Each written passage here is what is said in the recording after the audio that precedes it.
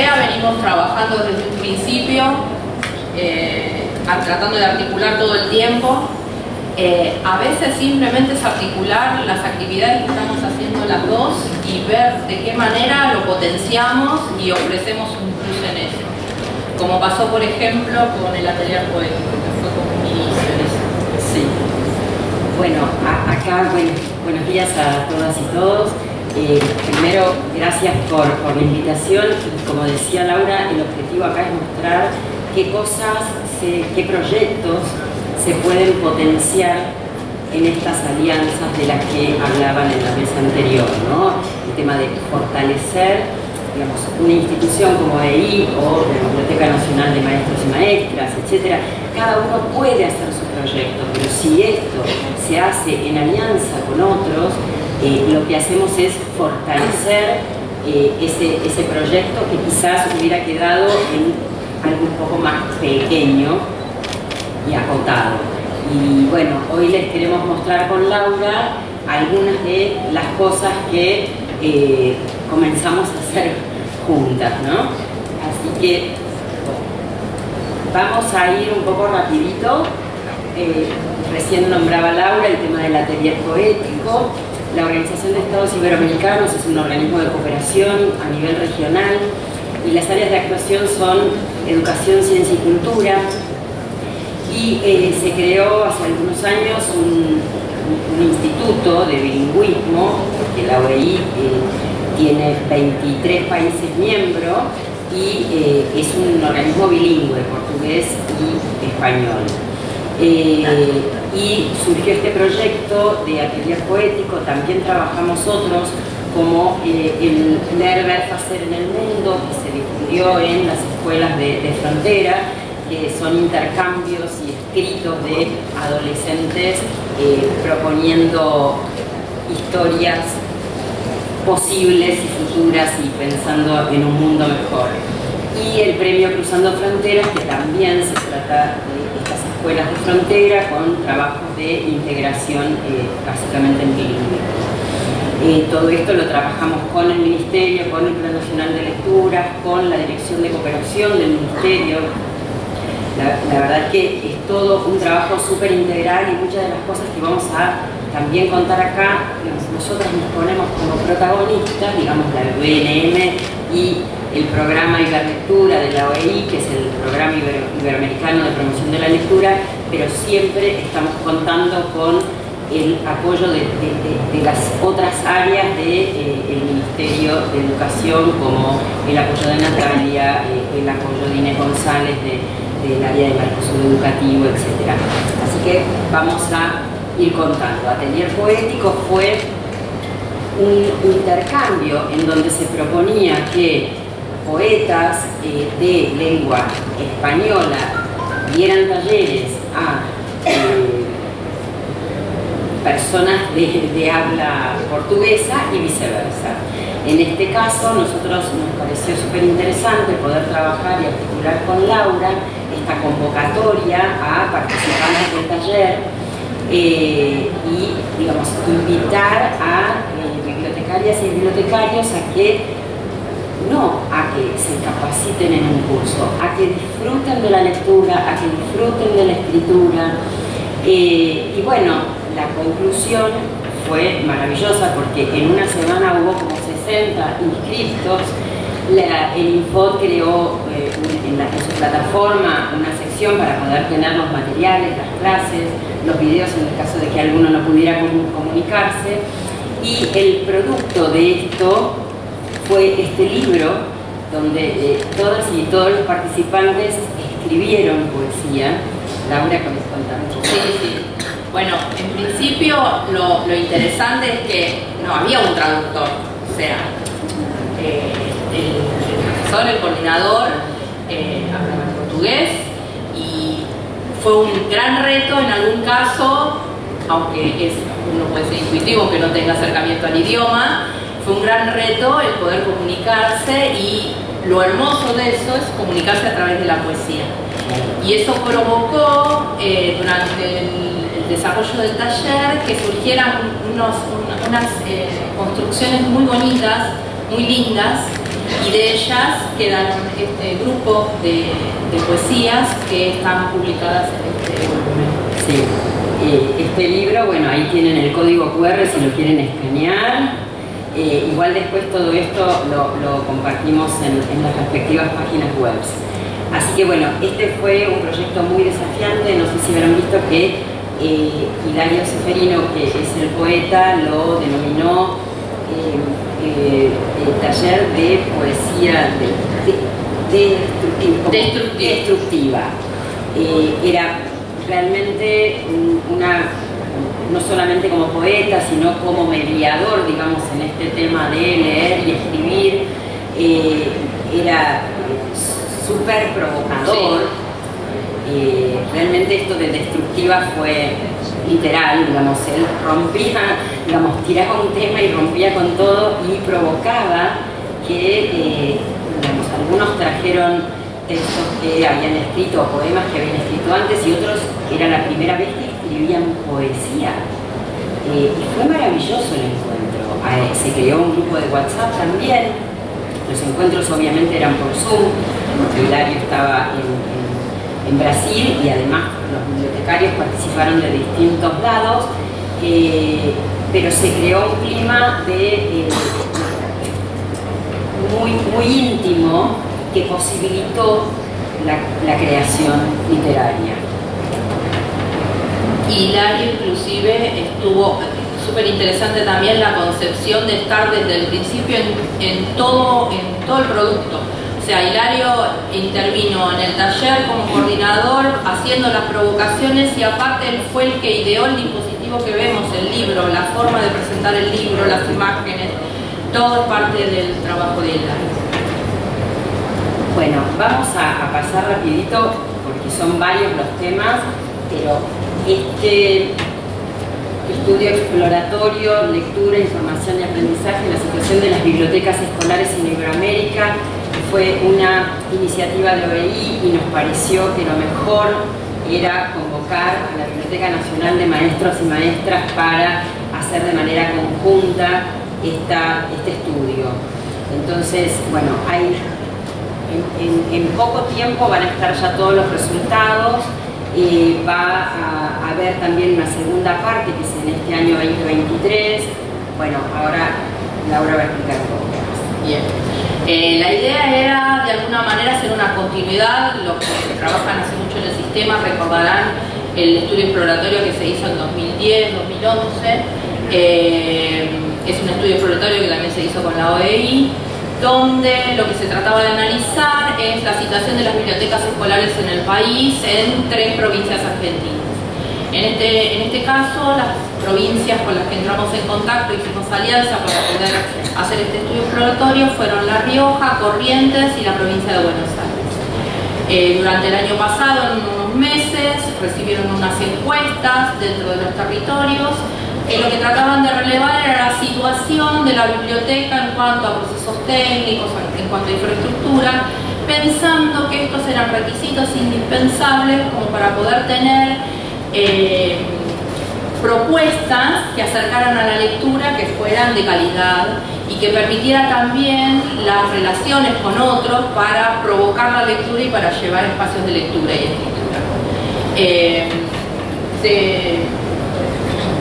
tuvo, tres etapas, el proyecto en una primera etapa se hizo un relevamiento de fuentes, de, de fuentes presentes que tuvieran datos, Además se hizo un estudio exploratorio eh, sobre la bibliografía escrita sobre bibliotecas escolares que no fueran estudios de caso en particular, sino que fueran propuestas teóricas.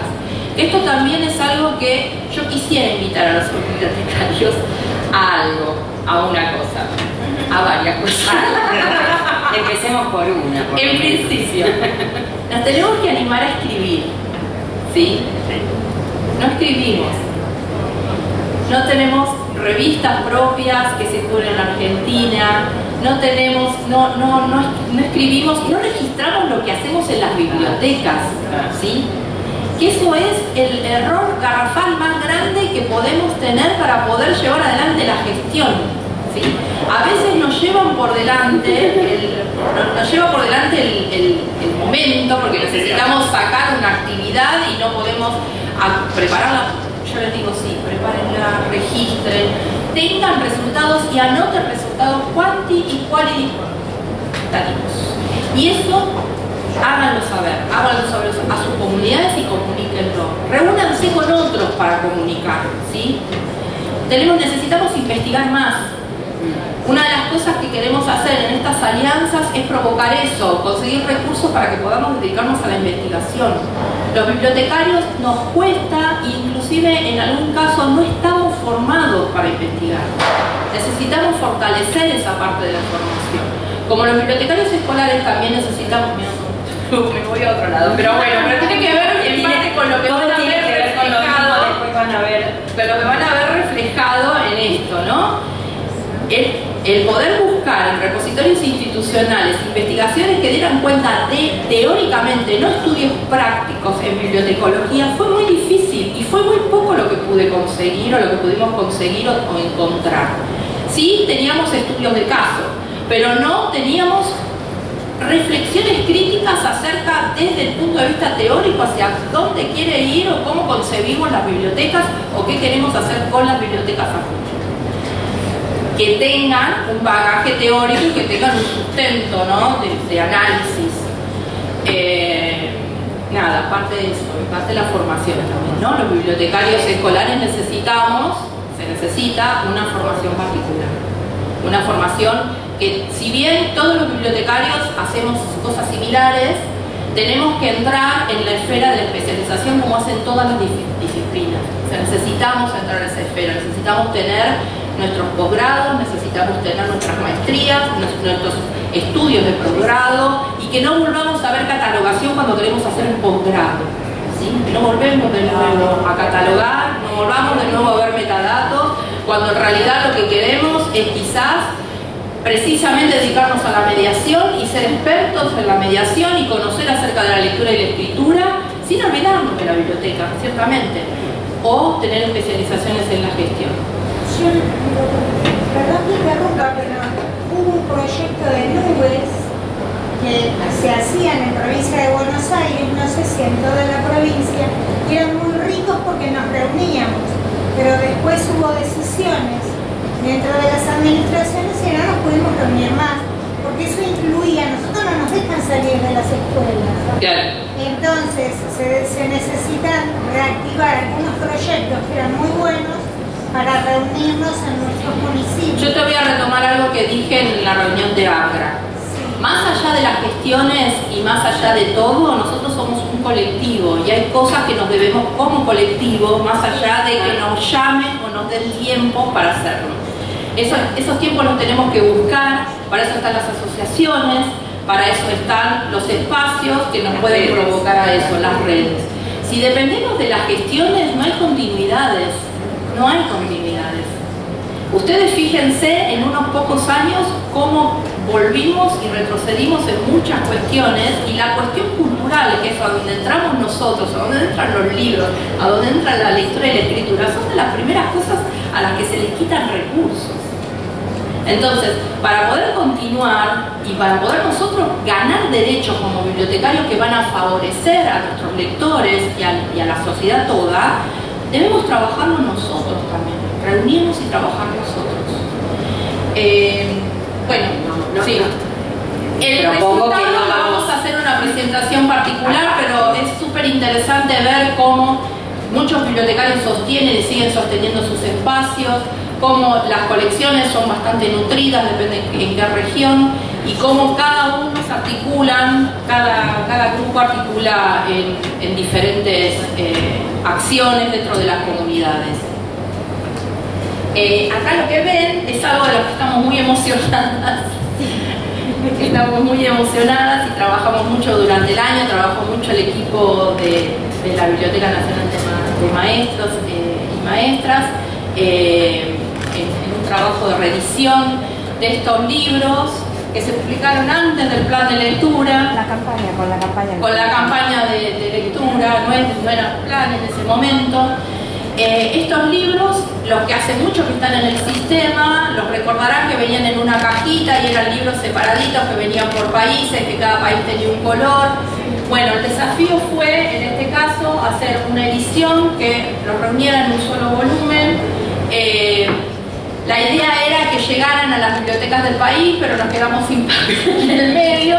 Logramos hacer algunos, algunos ejemplares. Queríamos tener para que hoy se llevaran todos, pero no llegamos. Pero, pero tienen en sus bolsas tienen una postal para las ediciones digitales. Cada país tiene, ahora Laura va a comentar el tema del diseño, porque la verdad es que eh, la, BNM y todo el equipo de, la BNM trabajó Laura va a explicar un poco el porqué de estos diseños. Pero bueno, aquí tienen por cada país un diseño diferente y con el código QR acceden al libro completo. Esperamos que pasada la feria del libro podamos por lo menos imprimir algunos ejemplares como para que vayan a todas las bibliotecas escolares, pedagógicas y carcelarias. Sí, el, libro, eh, dentro del relevamiento, una de las cosas que decían los bibliotecarios escolares era que querían seguir, porque habían comenzado a hacer desarrollo de colecciones en formato digital, querían continuar con eso y lo veían como un desafío y una posibilidad. Así que acá tienen otra posibilidad con este libro. Este libro lo que hizo fue reunir, en algún caso los países, que está dentro, lo desarrollamos en el marco de, eh, del trabajo del Mercosur Educativo. Este año Argentina tiene la presidencia pro tempore en Mercosur, Así que fue una de las iniciativas que, nos provocó hacer y, renovar la alianza.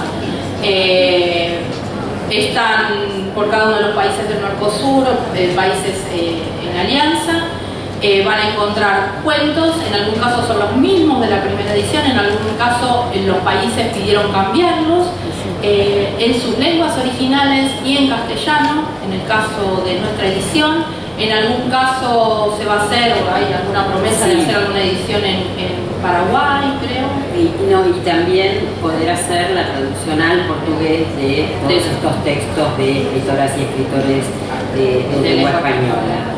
Eh, eso es algo que todavía no, no bajamos los brazos y como, como dice Alejandro Santa, insistimos, insistimos, pedimos, exigimos, vamos a tratar de ver, pero bueno, por lo pronto, eh, digamos, este material que eh, esperamos poder llevar a, las bibliotecas escolares en físico también está en digital, con el código QR acceden. Todo este material se pone también a disposición de los Ministerios de Educación y Cultura del Mercosur, como para que ellos puedan también hacer ediciones impresas y, de ser posible, por supuesto, hacer las traducciones al portugués. Y tiene al final unas propuestas de mediación interesantes para que ustedes puedan utilizar esos textos o trabajar con esos textos o con cualquier otro. ¿sí? No de trabajar en el sentido utilitario, sino en el sentido de provocar. La idea es que eh, uno desde la biblioteca escolar y con los textos provoque y provoque cosas eh, a través de la lectura, a través de desarmar lecturas, a través de recontar, ¿sí? apropiarse de la literatura, apropiarse del texto de los otros y transformarlo también, hacerlo suyo. Sí, sí, las propuestas didácticas eh, son eso, digamos, propuestas de jugar con los textos, de, provocar a las y los lectores. Así que bueno, pueden descargar el libro eh, y vamos a continuar con otras de las acciones. Bueno, como les decía, Iberlectura es el programa de promoción de la lectura de la OEI. En el año 2019 nosotros brindamos asistencia técnica, eh, y la lectura inició simplemente como un espacio para dar a conocer los proyectos y campañas que se estaban haciendo en la región y fue creciendo y eh, empezamos a desarrollar nuestros proyectos de promoción de la lectura, además de estar acompañando por supuesto a todos los ministerios de Cultura y Educación y, algunas fundaciones y asociaciones eh, civiles. En el año 2019 se hace acá en Argentina el Congreso Nacional de, eh, el Congreso Internacional de la Lengua Española y la OEI tuvo una importante participación en distintas áreas y una de las cosas que hicimos desde Iberlectura fue crear la campaña eh, Ay, no, me estaba equivocando, esto es encierro. Ah, no importa, sí, sí, sí, sí, no importa.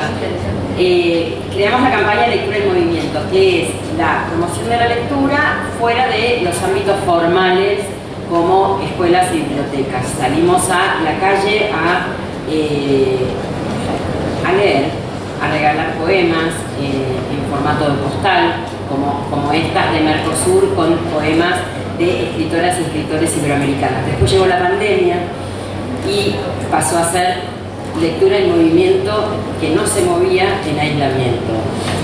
bueno, hicimos algunos kits para colaborar con familias y docentes, etc. Y a partir de este aislamiento dijimos, bueno, ¿quién más está aislado? Además de los enfermos de COVID, donde dimos unos talleres de, lectura y de, de creación de videos literarios durante eh, el momento del aislamiento en Tecnópolis, junto al Ministerio de Cultura, se realizaron esas campañas. Y después dijimos, ¿por qué no llegar a, eh, a las cárceles? Eh, y entonces ahí, junto con la modalidad de educación en contextos de encierro del Ministerio de Educación de la Nación y de la provincia de, de Jujuy, nos pusimos en contacto, presentamos el programa a las, autoridades penitenciarias. ¿Y qué pasó? Digamos, empezó la magia. empezó la magia. Se, hizo una, primera jornada abierta a, todas las personas del penal, tanto internas como oficiales. Eh, ¿hay, ¿Hay alguien acá en el público que trabaje en biblioteca carcelaria? No, pero tengo conocimiento de eso porque estoy realizando un trabajo eh, con las bibliotecas en contexto de encierro de eh, Capital Federal. Ah, bueno. Y es, este, bueno, hemos tratado de a veces de comunicarnos simplemente con la biblioteca que tenía una, un espacio este, que quedaron de contestar en algún momento, época de pandemia también, con respecto a los programas de de las bibliotecas porque dependían de la... En realidad... No sé eh, cómo quedó ahora. No, las bibliotecas, a ver, las bibliotecas del, de la modalidad... Ustedes de la Biblioteca Nacional? La, las bibliotecas de la modalidad son iguales que las otras, para el sistema educativo son iguales que las otras eh, lo que nosotros estuvimos haciendo a partir del 2001 fue tratar de coordinar o armar un grupo de bibliotecarios o de red de bibliotecas en contexto de encierro. En ese trabajo, o sea, hay un montón de cosas que hicimos que no podemos terminar en este poco tiempo de contar. Hablando de investigación, yo estuve trabajando con eso, pero además quedó como algo este, también en época de pandemia también dentro de la Biblioteca Nacional de Maestros un responsable de ese programa o ya no existe más? ¿No, existe más? No, nunca tuvo la biblioteca. No, no teníamos responsable para, para el, No, no, nunca se trabajó tampoco con el contexto en particular. abiertas para el contexto de encierro? No, lo que, lo que hacíamos en el programa Vera era capacitaciones para la modalidad. Sí hacíamos capacitaciones, pero no teníamos para, para, nosotros las bibliotecas en contexto de encierro pertenecen al programa de bibliotecas escolares de la República Argentina. Son una biblioteca al programa Vera. Son una biblioteca escolar más y tienen el tratamiento de una biblioteca escolar más. Bueno, ¿quieren hacer algunas preguntas? Sí. Pero fuerte, por favor, así. ¿Puedo sí. Sí, sí Les quería contar que en el pabellón 3 del distrito de San Nicolás hay una escuela secundaria y una biblioteca escolar, como decían recién, pero también están dentro de un programa dentro del Departamento de Justicia, o de no sé cómo se llama, que tienen un pabellón literario para todos los internos que tienen buena conducta. Mm. Eh, tuve la oportunidad, en dos, oportunidades, de participar de un taller literario en ese pabellón literario, que es el pabellón amarillo también, no sé. y los internos dentro del pabellón también están formando su propia biblioteca, así que desde el exterior con otros bibliotecarios de, la zona y se hicieron colectas para, eh, para los, no para la biblioteca escolar precisamente de la escuela, porque no todos van a la escuela, sino para la biblioteca que ellos formaron dentro del pabellón literario. Y el año pasado pudimos hacer una experiencia muy linda que fue para eh, la época del Día de la Tradición. leímos los consejos que da el viejo Vizcacha Martín Fierro, los consejos que da Martín Fierro a sus hijos y ellos escribieron sus propios consejos, a los que llamamos píldoras literarias, y los pusieron en cajitas de remedio y esos fueron distribuidos en los hospitales y en las clínicas. era como una manera de devolverle a la sociedad algo que ellos me han quitado, ¿no? porque por algo están ahí. Y bueno, eh, se los invitó a escribir los consejos a esta gente que está pasando un mal momento de salud. En la biblioteca, dentro del contexto, se, hacen muchos trabajos en este, en este tratar en este tratar desde la Biblioteca Nacional de Maestros, de armar redes, de que ustedes se reúnan en redes, en redes de, afinidad por el, tipo de recorte que hacen dentro de, su labor, el conocer a los bibliotecarios en contexto de encierro y ver los trabajos que hacen, la verdad que es maravilloso. En todas partes del país hay cosas como las que decís, que tienen un gran valor, que los ayudan a ellos y que colaboran también a la sociedad, por el intercambio con la sociedad. Parte de ese trabajo es lo que... Perdón, acá, acá ah, eh, Eugenia también levantó la mano porque la editora Braille trabaja en, relación con las bibliotecas de contexto de encierro. Nosotros estamos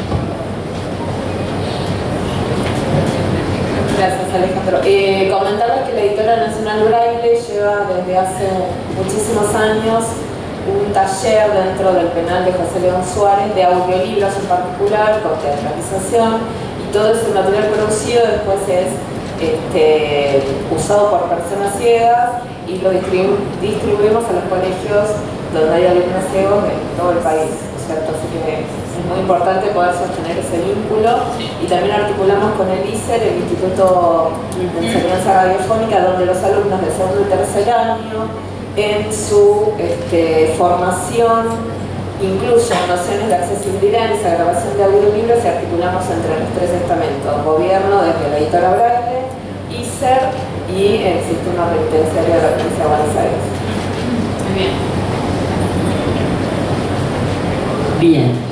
Eh, bueno, se hizo ese encuentro primero presencial, abierto a toda la comunidad y yo preguntaba si había gente que trabajaba en el sistema carcelario porque cuando recibí un informe de la oficial del Penal 3 de Jujuy con su firma decía como cargo adjutor.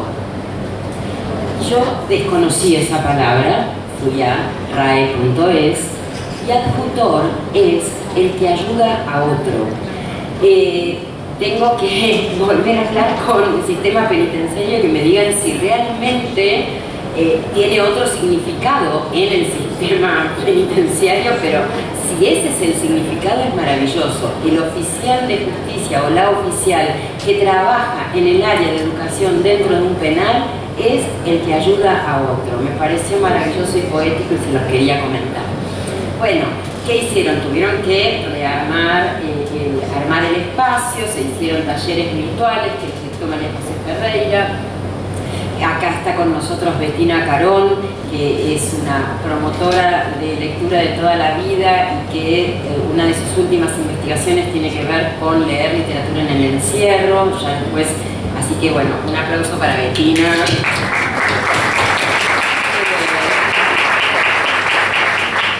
Bueno, entregamos, eh, juntamos libros, entregamos libros, compramos diccionarios también para eh, las internas, eh, para que cada una tuviera su diccionario, se lo pudiera llevar a la celda y pudiera llevarse un libro para leer y si algo no entendía lo pudiera ver de qué se trataba ahí.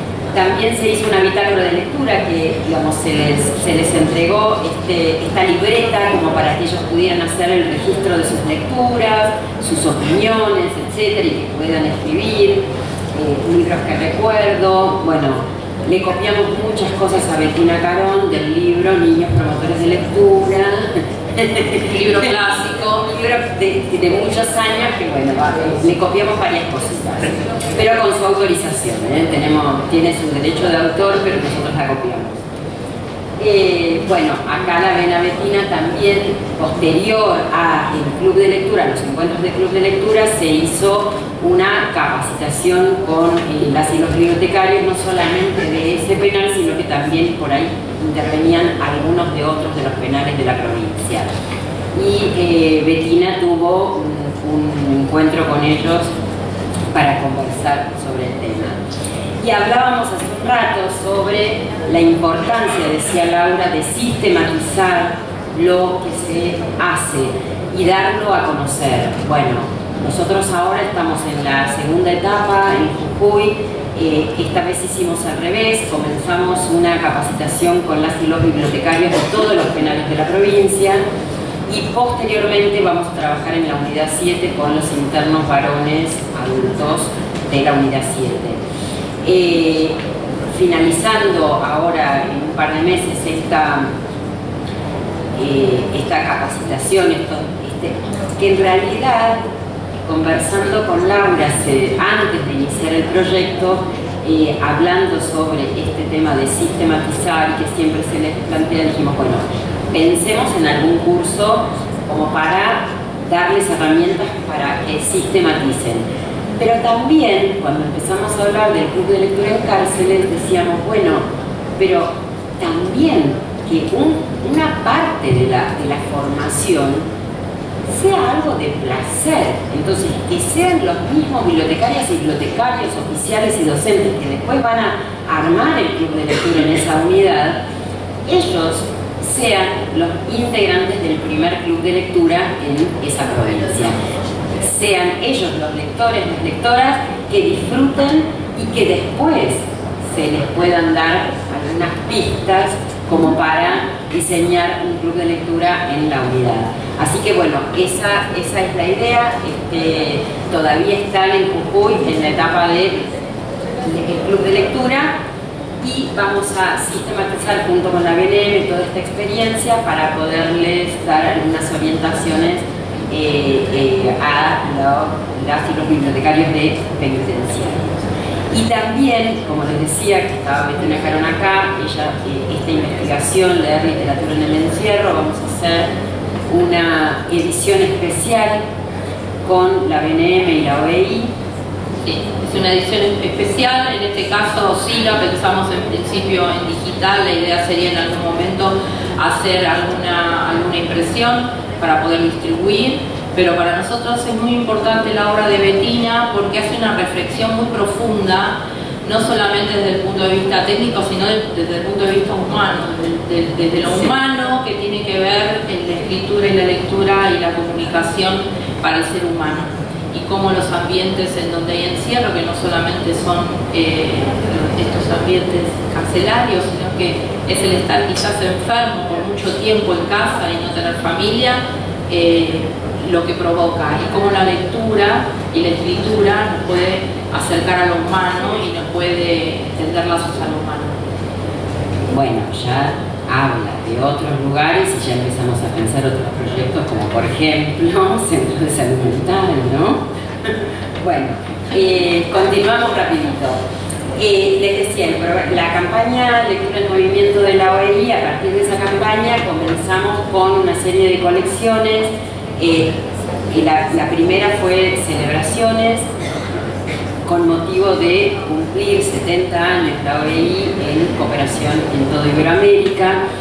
Entonces ahí reunimos poemas de escritoras y escritores iberoamericanos y la, segunda que lanzamos hace poquito virtualmente y que vamos a hacer eh, el día 12 de mayo en, en el de la Biblioteca del Congreso de la Nación tenemos varias actividades. Yo los invito a que se suscriban al boletín de Iberlectura y van a tener todas las actividades que vamos a tener ahí, que de paso aprovechamos a agradecer a Alejandro Santa con todo el apoyo que da a la OEI en este, en este programa de promoción de la lectura y, bueno, también se están haciendo un montón de cosas con la Biblioteca Nacional de Maestros y Maestras y estamos articulando los tres y también estamos siempre pidiéndole cosas a la BCN. Bueno, hicimos estas colecciones que están digital, que ustedes las pueden encontrar en este librito que tienen en el bolso sobre el final tienen eh, los QR para bajar estas colecciones.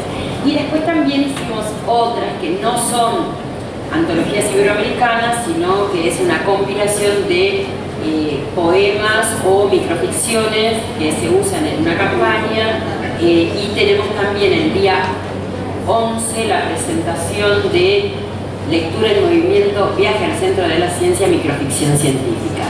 ¿Y por qué les cuento esto? Porque vamos a empezar a trabajar con la Biblioteca Nacional de Maestros y Maestras, con la BCN y Tiflonexos, que esperamos que con editora eh, Braille y Libro Nacional Braille y Libro Parlante, en llevar todo esto a eh, audiolibros, a videolibros en lengua de señas, a braille, etcétera, en un trabajo conjunto en donde podamos visibilizar la, literatura iberoamericana eh, para todos y todas. Así que bueno, este es el desafío que tenemos de lectura e inclusión, que es uno de los ejes de la OEI. Así que bueno, esto es lo que estamos haciendo hasta julio. Después, Después nos reunimos otra en algún película. momento y siempre surge otra cosa, pero en realidad tiene que ver con, e- con esta cosa de, de tender lazos. O sea, nos reunimos o hablamos y qué estás haciendo, qué estamos haciendo, querés que hagamos y potenciemos de esta manera o hacemos alguna actividad juntas y después lo vemos a Alejandro, ah, ya lo vi también a Alejandro y nada, eh, es la manera de, de poder trabajar y poder llegar eh, más ampliamente ¿sí? y, y más racionalmente. Así que bueno, esto por ahora es lo que venimos haciendo conjuntamente. Así que muchas gracias a todas y todos.